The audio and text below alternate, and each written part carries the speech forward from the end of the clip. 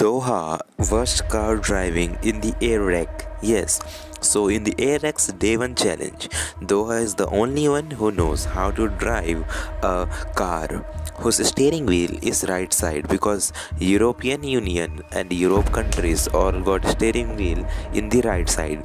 So Doha drives the car but everyone knows only Doha can drive, but Doha is not a very good driver. Eric also shows the behind the scene footages of Doha driving car very worst. It could be a challenge if he accident the car or maybe something worst happens right now.